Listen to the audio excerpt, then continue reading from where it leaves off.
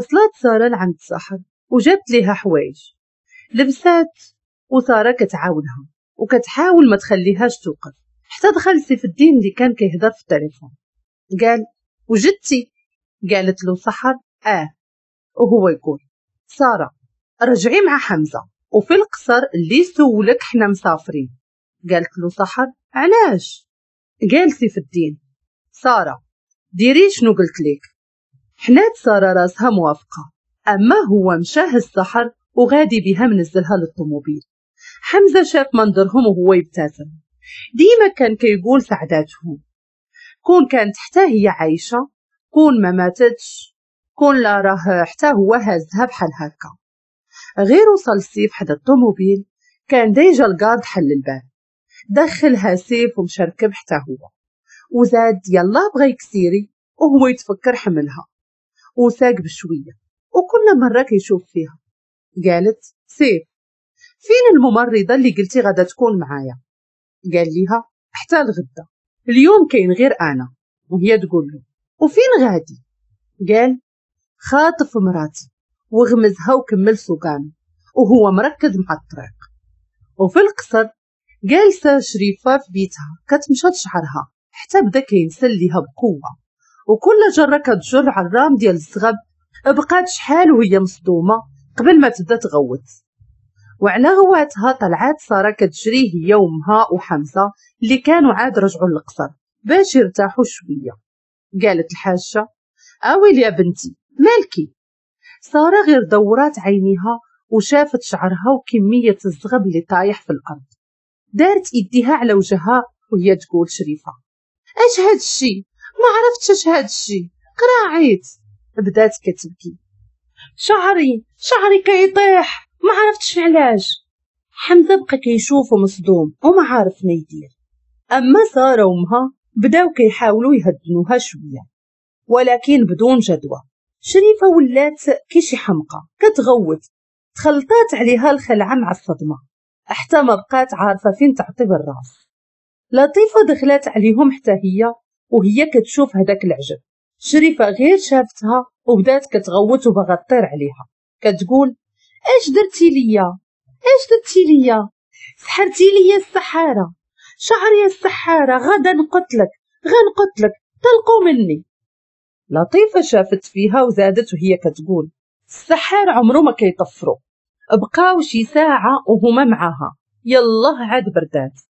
قال ليها حمزة غدا غيديها عند الطبيبة الجد وبداو سارة أمها كيهدنوها بالهضرة والحاجة خايفة ليكون السحر انقالب على الساحر.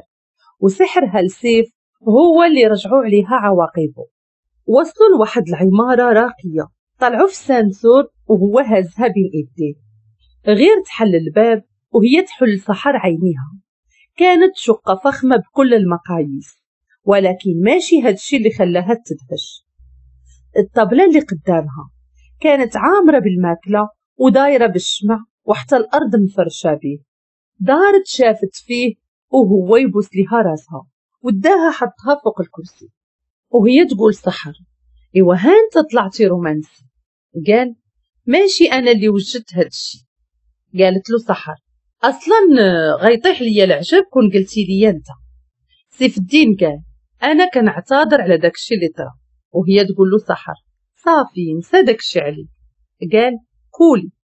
بدأت سحر كتاكل وهو مرة مرة كيشوف فيها. غير سالاو الماكلة وهزها عاود وخرجوا البالكون جلسوا فوق كرسي هو جالس وهي متكية فوق كتفه. بقاو شحال وهما كيشوفوا في النجوم حتى قال. الحاجة فاطمة ماشي أمي.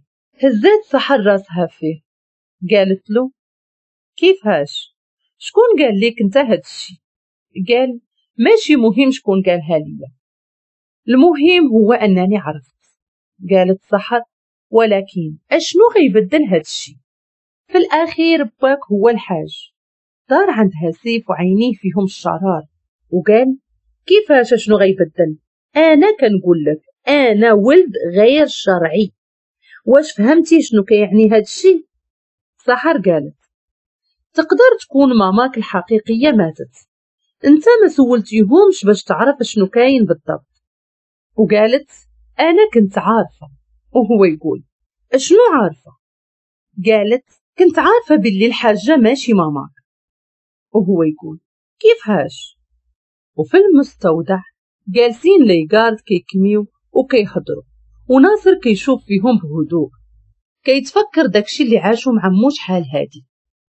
الحاجة فاطمة كانت قالت. سمعيني مزيان. سيف ما خاصو يعرف والو على هادشي غوت ناصر وقال علاش؟ علاش؟ هو اللي ماشي ولدك يعرفوه الناس وأنا اللي ولدك من صلبك نكون نكيرة. قالت الحاجة فاطمة اسكت واش حماقيتي؟ قالها ناصر آه حماقيت حماقيت وغادي نزيد نحماق ملي كنتي معبى ما فكرتيش في هادشي ما حس على راسو احتاجاتو تصرفيقه في حنكو قالت له الحاجة فاطمة قليل الآداب. شوف أنا راه سنين دازو. قتلت فيهم أنا راه سنين دازو. قتلت فيهم وضربت بجهدي باش الحاج يبقى معايا. وتكون أنت هو الوريث من بعد. ما غنخليش هاد الكلاخ ديالك دابا يضرب ليا كلشي في ال zéro. ومع كملات هضرتها مع طاح ديال الكاس اللي كانت هازه في إيديها. وداروا بجوج والصدمة على وجوههم. ولكن ماشي كتر من صدمة نادية. قالت الحاجة اش أشنو؟ أشنو كديري هنا؟ نادية عرفات راسها ما غداش تخرج عايشة من البيت. إلا عرفوها سمعات هضرتهم. وهي تقول آه راسي. آه غير كملات هضرتها وطاحت سخفانة. الحاجة كتقول فيقي نادية نادية. ناصر كيقول غتكون سمعات شي حاجة. جاوباتو الحاجة ما عرفتش. الله يلعنك ورطينا وفضحتينا. يا ربي ما تكون سمعات والو يا ربي. وهو يقول ناصر نقتلوها. آه نقتلوها. الحاجة ضرباتو بصندالتها وبدات كتغوت أخرج أخرج خليني نشوف شنو ندير. شوية وهي تفيق نادية. ولقات الحاجة فوق من راسها. نادية كتحاول ما تبين والو. والحاجة قالت أشنو وقع؟ قالت مالي. قالت لها الحاجة نسولك أنتي اللي كنتي واقفة مورا باب بيتي. بدات نادية كتدور في عينيها بحال كتحاول تفكر وهي تقول ما عقلتش. كنت جاية ناخد من عندك الدواء ديال الراس. ولكن غير وصلت ودارت بيا الدنيا وكحالت. ما بقيت عاقلة على والو. قالت لها الحاجة مم دابا مزيان. وهي تقول نادية شوية عافاكي ممكن تعاونيني نوض.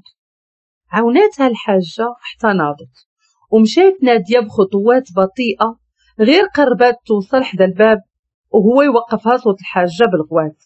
وقفي وقفي! رجع ناصر بذاكرته للواقع. وكان كمل الفكان ديال العقدة القنبلة اللي رابطينو بها غير فك العقدة وهو يمشي بشوية على رجليه بالحفا. حتى طل وهو يبان ليه جوج ديال لي كارد جالسين كيهضروا. فكر وفكر مزيان. لو كان في قوته الجسدية كان غيهلكهم. ولكن بهاد العيال اللي داز عليه من الأحسن ليه يسل الشوكة بلا ما يسيل الدم كانوا جالسين برا. حتى سمعوا شي حاجة طاحت لداخل. قال الجارد الأول أه سمعتي شي حاجة؟ وهو يقول الجارد الثاني وقيلا كاينة شي حاجة. قال الأول غادي ندخل نشوف. هانا جاي. دخل الجارد لداخل وشعل البيل باش يبان ليه حتى كيلقى الكرسي خاوي. يلا بغى يغوت. وهي تجيه دقة لراسو. خلاتو ينزل للأرض مغمى عليه. غير طاح ودخل الجارد الثاني. وهو يقول ناصر هزو معايا. قال له الجارد الثاني بلاش خليه هنا وسير هرب قال ناصر ما عنديش فين نمشي. وهو يقول الجارد الثاني هاك هاد العنوان وجبد ورقة من جيبه. سير ليه وغيعاونوك. قال ناصر تكون شي لعبة هادي ندفنك حي. وهو يقول له الجارد الثاني كتضيع الوقت. بدا ناصر غادي وهو يغوت الجارد الثاني. ناصر هاك. اضربني لرجلي دغيا. ناصر ابتسم وقال ما طلبتي غير الموجود ضربوا لرجليه وخلاه طايح وهرب وخدا معاه الفرد. سيف الدين كيمشي ويجي في الصالون وكيحك في لحيته. وهاد الشيء ما خافيش على سحر حركاته هادو كيديرهم وهو معصب. وواصله به الحد. ملي قالت ليه سحر باللي راها كانت عارفة وهو مجنن. كيمشي وكيجي. قالت له سحر سيف سيف الدين عينيه حمرين قال. سكتي ما تهضريش وقفات قدامه وقالت لا غادا نهضر أنا مراتك ماشي وحدة من دوك اللي كتلعب عليهم. غنهضر وغتسمعني. أنا ما خبيتش. والديك منعوني نقول لك شي حاجة. ونزيدك. سمعتهم غير بالصدفة. ماشي جاو عاودوا ليا وخبيت. كاين فرق كبير. أصلا كل شي جا متابع. عاقل نهار خرجنا من الكلينيك. كنت باغا نهضر ونعاود لك كل شي على والديك وعلى سارة. ولكن عرفتي شنو اللي خلاني نخبي؟ هي هاد سكتي اللي كتقولها ليا كل مرة. يا إما بقى تسمعني يا إما ما تلومنيش من بعد ملي نخبي عليك. قالت له هاد الهضرة وطلعت لبيتها. مشات نيشان غسلات وجهها ومشات لبلاصتها تكات وهي كترجع النفس ديالها. بقى سيف كيفكر وطلع عند سحر طلع عليها لقاها نعسات. قرب ليها وباسها في راسها. احتاج خارج وهو يشوف فيها ورجع حط جاكيتو. حيت برديلتو تخشى حداها. جرها من كرشها لعندو وتكا وهاد المرة ماشي بحال كل مرة. مستحيل يهرب منها ومستحيل يخليها بوحدها. بقى متكي شحال وكيلعب ليها في ظهرها. حتى هي استحلاتها عاد ما زالت تخشات فيه. حتى حس بتليفونو كيصوني. حيد إيدو من تحت عنقها بشوية باش ما يفيقهاش وهزو. دخل تسجيل الكاميرا وشاف كل شي على عينيه في الديبو. ابتسم وقال هاد الشي اللي كنت باغي نعرف. اهرب فين قدك تهرب غنجيبك ولو تحت سابع أرض. حط تليفونه ورجع عنقها وهو كيتسنى الغد. ملي وقفوا قدامه شرحوا كيف هاش هرب. وهو في الأصل هو اللي رخف العقدة ناصر. ملي كان مغيب بالعصا اللي عطاه. عارف أن ناصر كيشكل عليه خطر ولكن مضطر يدير هكا. هو الوحيد اللي غيوصلو لفين باغي. كانوا جالسين كيتعشاو الحاجة وسارة وشريفة اللي دايرة زيف على راسها وغير ساهية. رقية كتسربي ليهم العشاء وهي تقول عرفتي الحاجة أصيل اللي كانوا لاباس عليهم رجع للمنطقة.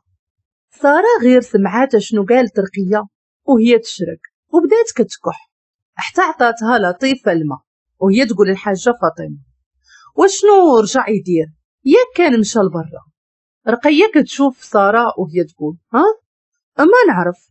رجع ولا لاباس عليه هو ومراته. سارة بقات كتسمع ورجليها كتهز تحت من الطبلة ولكن ما بغاتش تعيق. بقات ساكتة وكتاكل وهما كيهضروا عليه. وعلى مراته شحال زوينة. بقات كتحسب الدقايق إمتى يكملوا. حتى بان ليها حمزة داخل وهي تنوض بالزربة مشات عنده. خلاتهم ما فاهمين والو وهي تقول حمزة بغيت نهضر معاك. قال مالكي؟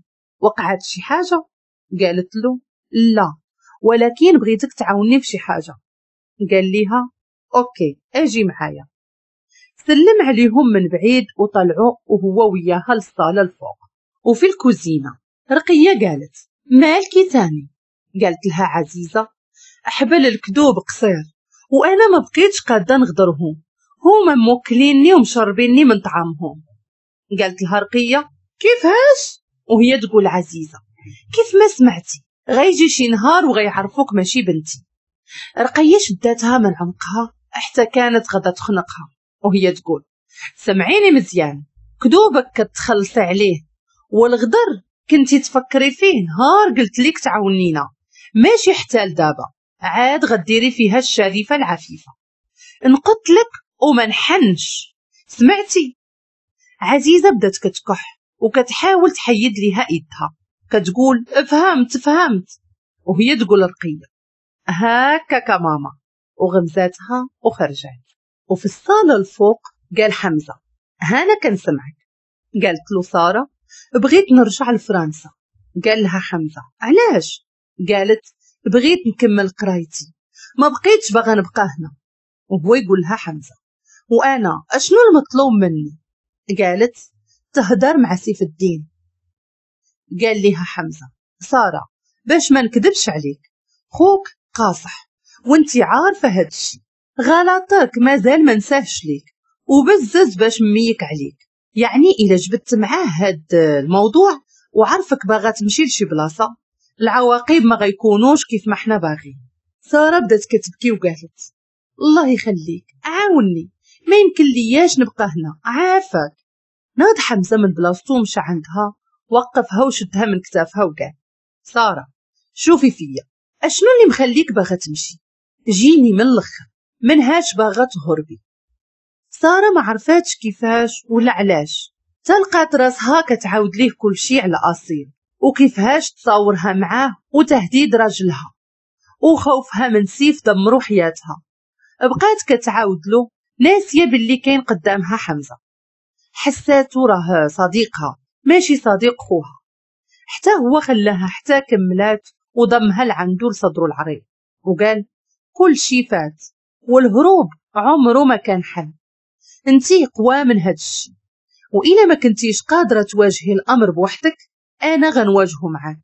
ولكن تهربي وتغربي على ود واحد ما دار حتى شي خطوة على قبلك؟ لا سارة.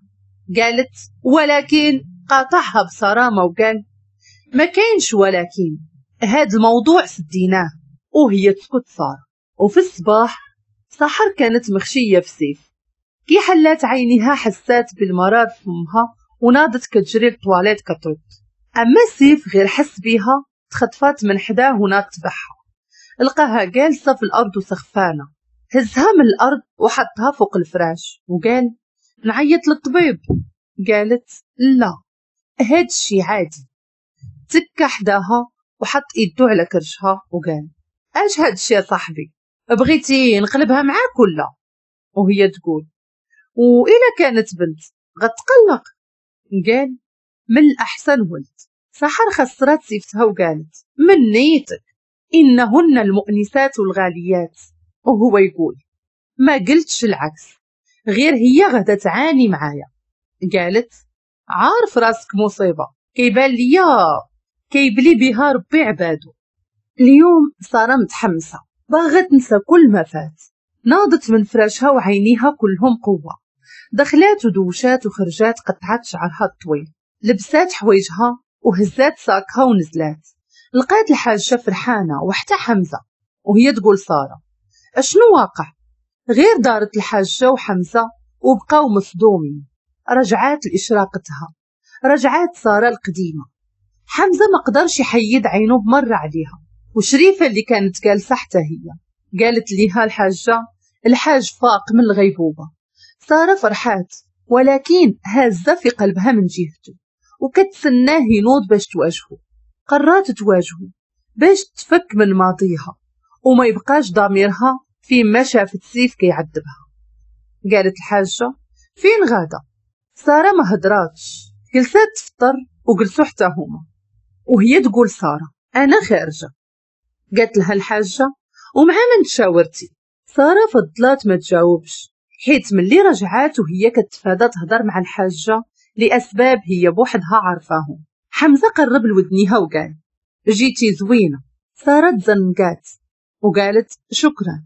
قال لها حمزة فين غادا قالت له عند الحاج نشوفه ومن بعد غدا نمشي نتقيد في لاصال سبور. وهو يقول واخا أنا غادي نوصلك. غير كملات فطورها طلعها الفوق ولبسات حوايجها. خرجوا وحطها في الطوموبيل وزاد. أما رقية ركبات مع الجارد اللي وصلوها الصباح وبقاو لتحت مسافة الطريق وكانوا قدام القصر خرج سيف الدين هالسحر ودخلها. وجا نيشان في شريفة والحاجة. مازالين جالسين كيفطروا وحمزة وسارة عاد نايضين وهي تقول سارة ها إحنا تاني على الحب. خنزر فيها سيف الدين وطلعها وهبطها وقال فين غادة؟ قالت غادة. قاطعها سيف الدين وقال نطقي وهو يقول له حمزة مالك صاحبي؟ خادة تشوف باها وهو يقول سيف الدين طلعي البيرو سبقيني وداك الشي اللي دارت. حنات راسها وطلعات. لطيفة غير سمعات الهضرة وهي تطل من الفوق وشافتهم. قلبها ضرب من اللي شافته. مشى هي تعنق وتبوسو وتقول ليه ولدي أنا هي أمك. ولكن ردة فعله خافت منها. تقدر تجرحها. وهي ما عندها حتى شي دم في مجرى قالت الحاجة. ولدي سيف. سيف الدين ما دارش نهائيا لجهتها. حدو شاف السحر اللي كطلبو بعينيها يسكت وما يقول شي حاجة خايبة. وطلع في الدروج هاز السحر وكيتنفس بالجهد. شافت فيه وهي تحط ايديها على صدره. وقالت سيف تهدن قال غتبقاي في بيتك وما تحركيش منه نهائيا. فهمتيني؟ قالت ولكن قاطعها سيف الدين وقال بيتك ما تخرجيش منه.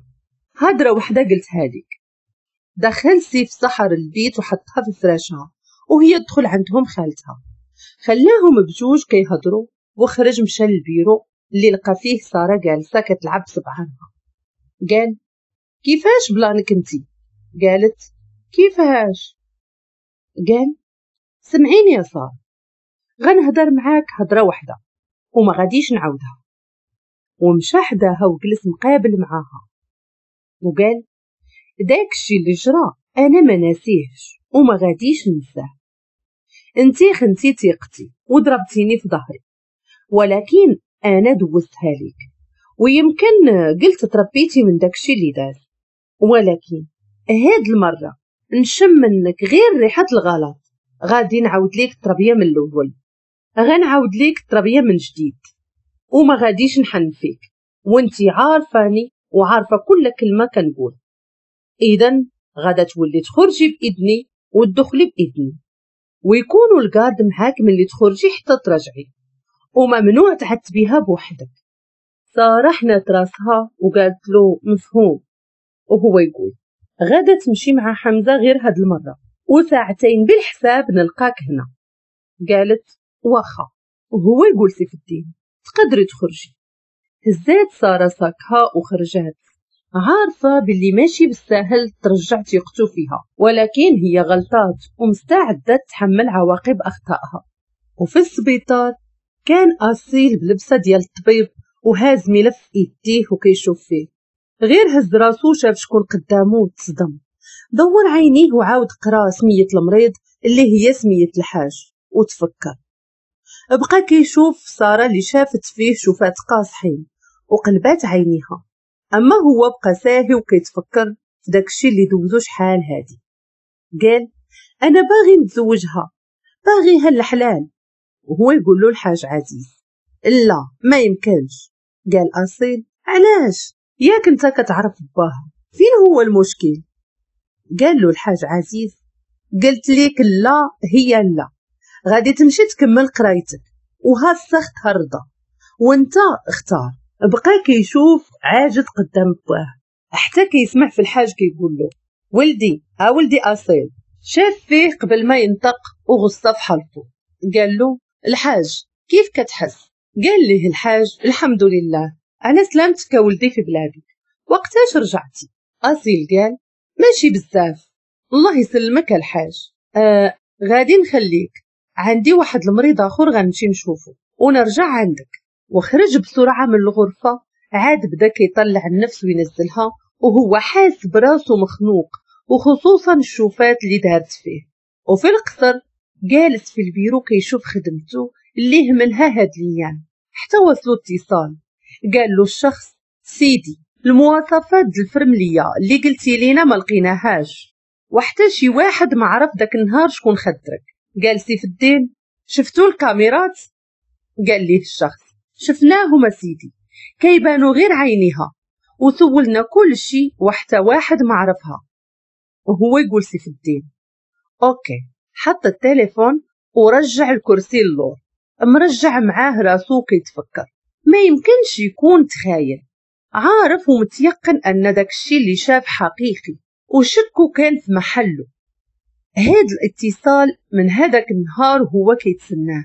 باش يثبت ليه شكوكو. وحتى شوفاتها ليه قبل ما تخدروا زادوا نواوه. نفس الجرأة ونفس الشوفات. وخصوصا نفس اللون. كيتمنى من قلبه يعرف شكون ديك الفرملية.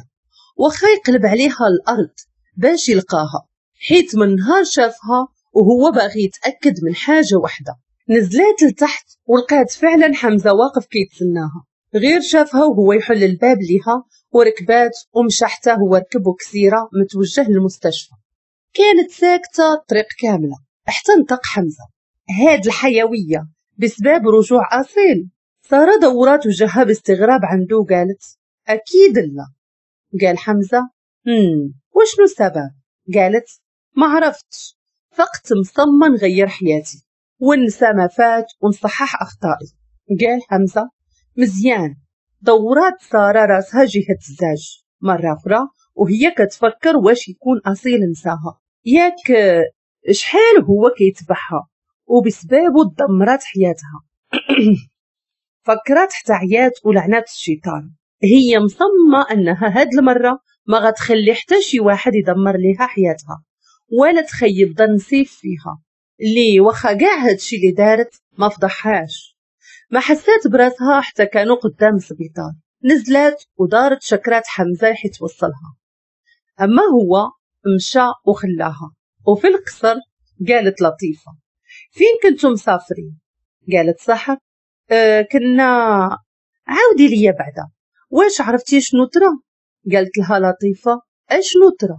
وهي تقول صح سيف الدين ماشي ولد الحاجة. لطيفة بدا قلبها كيضرب بالجهد.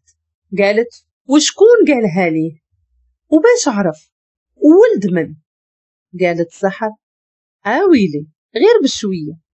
ما عرفتش التفاصيل ولكن عرف بلي الحاجة ماشي مو وباه دخل غيبوبة بسبب هادشي.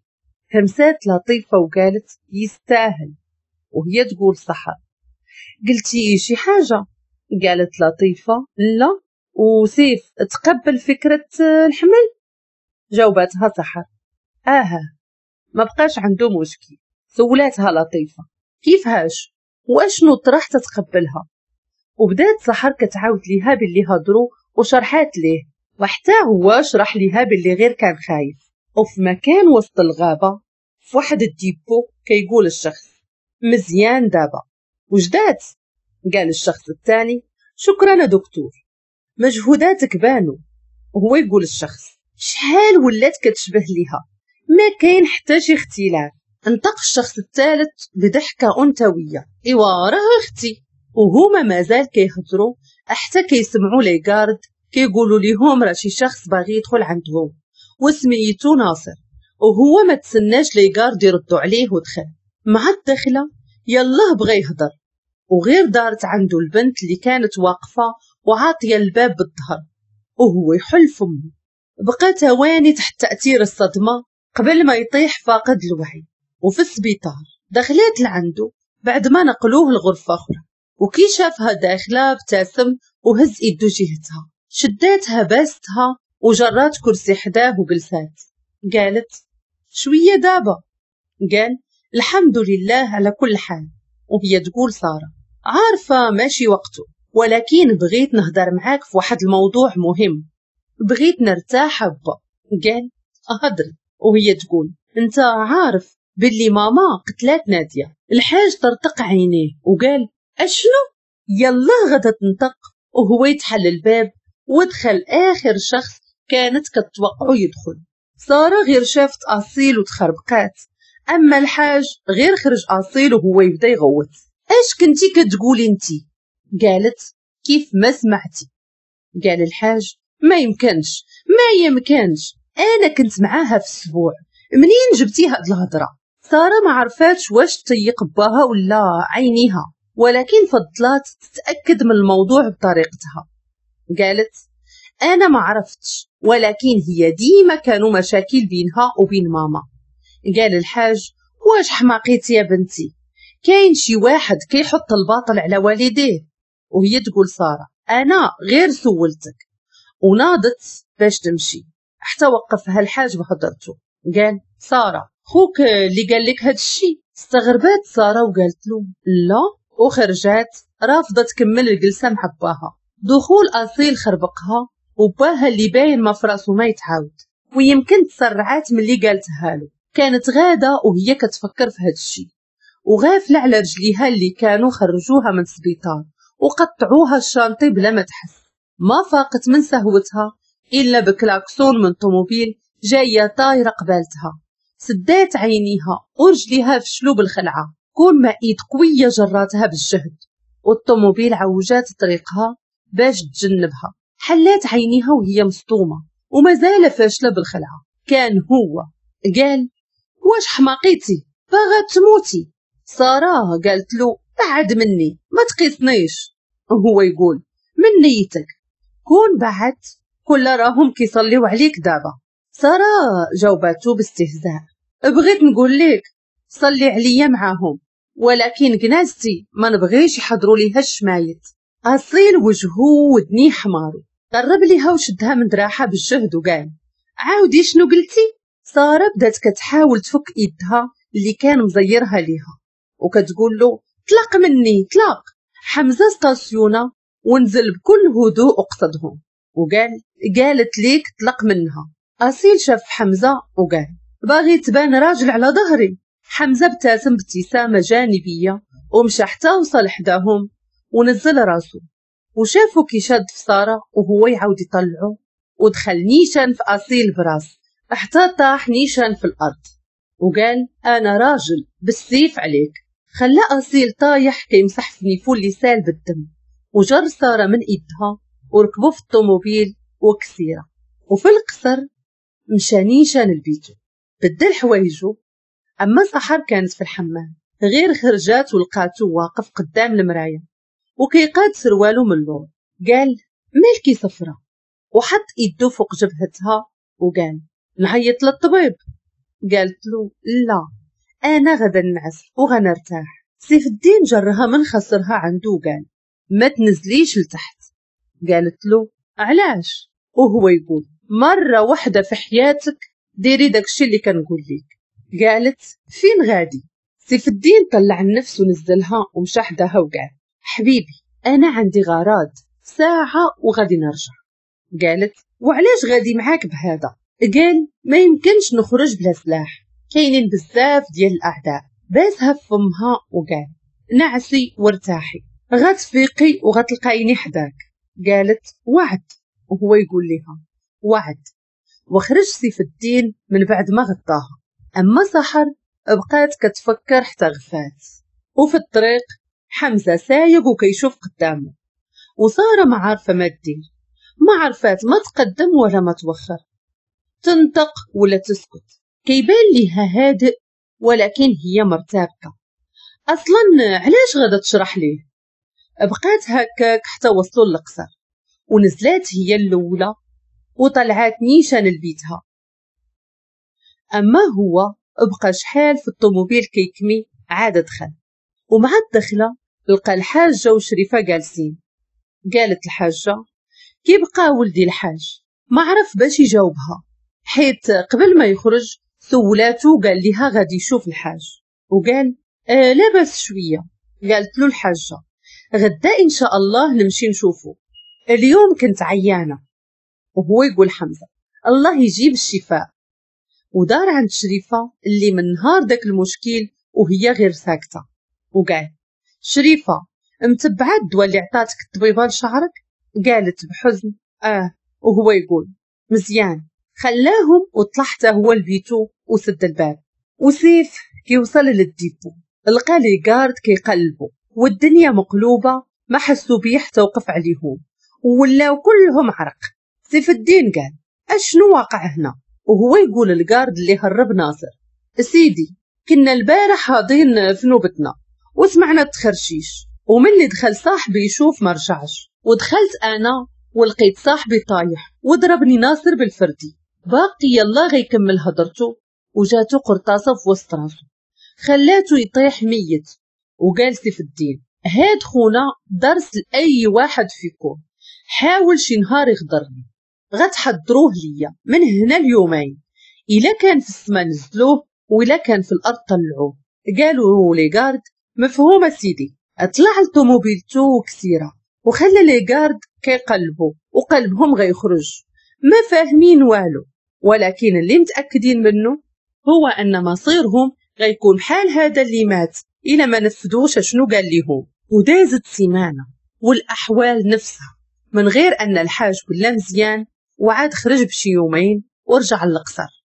أما سيف فكيتفادى يشوفو وحتى الماكلة كيخرج سحر اللي ولات كتوقف عادي ياكلو برا. سارة وحمزة من هذاك النهار وهما ما كيهضروش. خلاها ما عارفاش أشنو بيه وأشنو دارت حتى قلب عليها. واليوم هو نهار المباراة ديال سيف الدين. شحال هو كيستعد لهاد النهار؟ جالس حمزة وسارة وسحر وسط الجمهور كيشجعوه. كيشوفوه هو داخل والمشجعين دياولو كيهتفوا بسميتو والأضواء كلها مسلطة عليه. كانت أجواء معتادة لسارة وحمزة اللي ماشي أول مرة كيحضروا المباراة. ولكن سحر قد ما كانت مفتاخرة بيه وعاجبها بطولته وثقته في راسه اللي باينة من عينيه. قد ما في نفس الوقت كانت خايفة وهي كتشوف خصمه اللي ما كيقلش عليه في الضخامة ديال الجسم. لقاو التحية وبدا المعلق كيهضر والأضواء مسلطة على حكم المباراة اللي أعلن على البداية. كان كيضرب وكيرجع يحمي وجهه. متمكن من حركاته. وفي لحظة دور وجهه جهة الجمهور وهو يشوفها. سد عينيه بسرعة وعاود حلهم وهو ما متيقش شنو شاف قدامه. يمكن غير طيفها. بقى كيشوف فيها وهي دايزة ما بين الجمهور. وحتى هي عينيها في عينيه. حتى ضربو خصمه وطاح الأرض وهو دايخ.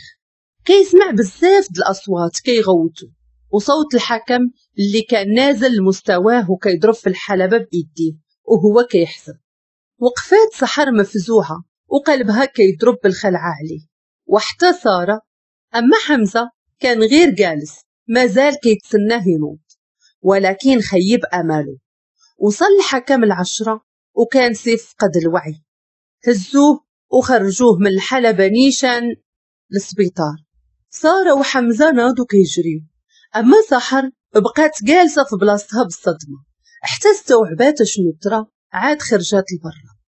كتقلب على حمزة وسارة حتى حسات بشي إيد في ظهرها وهي تقول لها شوفها وحدة مني خلاتو يخسر المباراة ويفقد وعيه.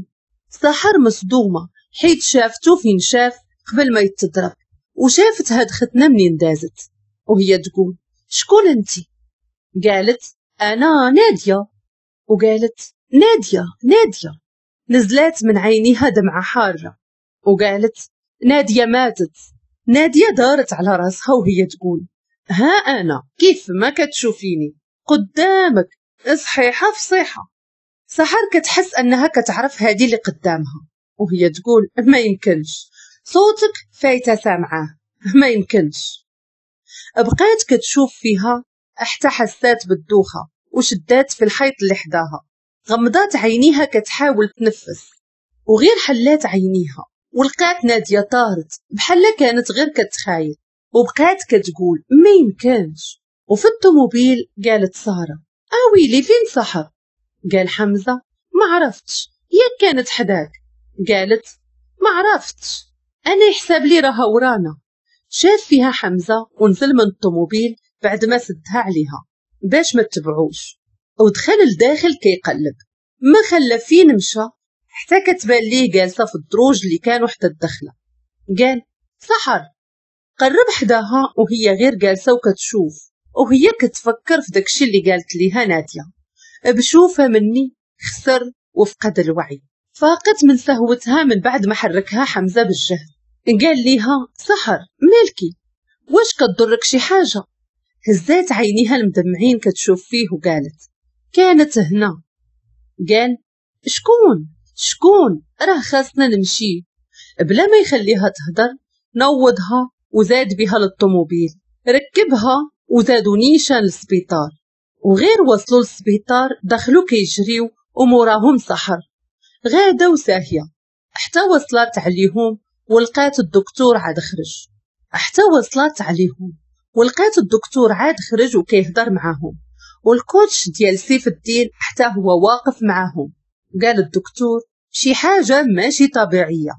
قال حمزة كيف هاش وهو يقول الدكتور على ما قريت في التقرير من اللي وصل أنه كانت عنده مباراة وأكيد داروا ليه فحوصات قبل يعني ما يمكنش يكون متعاطي لشي حاجة ويخليوه يلعب.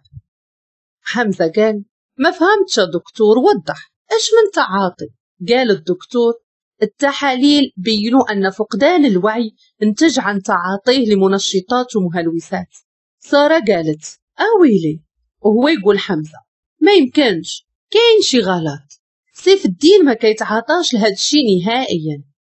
وهو يقول له الدكتور هاد الشي اللي عندنا في التحاليل.